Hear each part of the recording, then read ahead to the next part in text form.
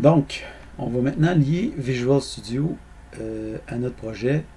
Donc, euh, normalement, on devrait développer une application euh, mobile, mais en fait, je ne connais pas vraiment le développement mobile. Donc, c'est une des choses que je ne connais pas encore. Par contre, ce que je pourrais faire, c'est que je pourrais utiliser un outil qui s'appelle Xamarin.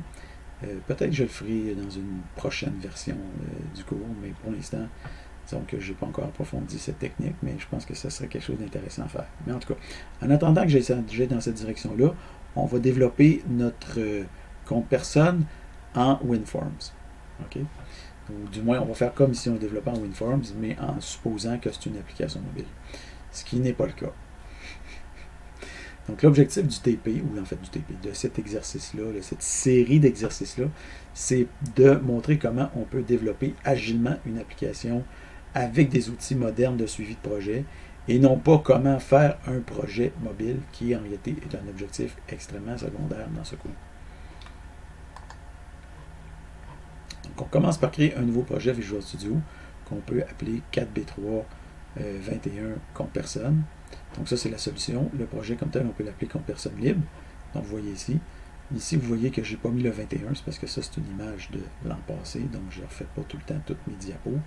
Donc ça, c'est une diapo de 2020. Et là, je n'avais pas mis l'année, mais je pense que maintenant, c'est mieux de mettre l'année. C'est pour ça que j'ai fait ça. Donc, vous allez maintenant euh, sélectionner Repo. Puis dans Repo, là, vous n'avez pas encore de rien qui a été poussé sur votre projet. Donc, vous êtes en mesure, vous allez avoir ça ici qui apparaît quand vous avez encore rien poussé. Aussitôt que vous avez poussé quelque chose, vous allez voir votre code apparaître.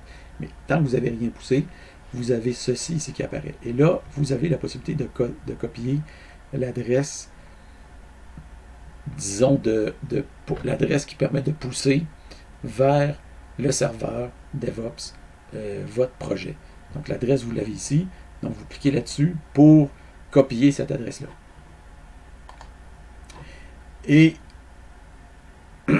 une, fois que vous avez fait ça, à droite, en bas de Visual Studio, vous avez le truc qui apparaît ajouté au contrôle de code source.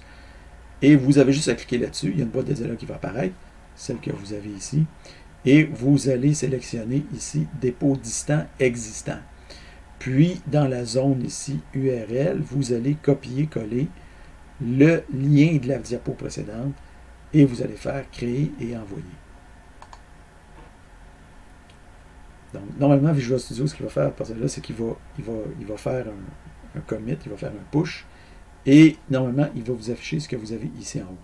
Et suite à ce push-là, vous, vous, pourriez, euh, vous allez aller dans DevOps, et vous allez cliquer à nouveau ici sur le repo pour rafraîchir l'affichage, et normalement, vous allez voir ici les fichiers de votre projet qui devraient s'afficher.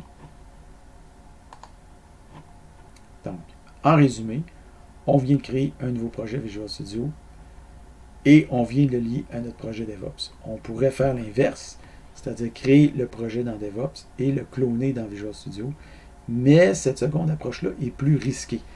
Donc, c'est généralement préférable d'initialiser d'abord le projet dans l'outil de développement principal qu'on compte utiliser. Donc, on va maintenant créer un fichier README.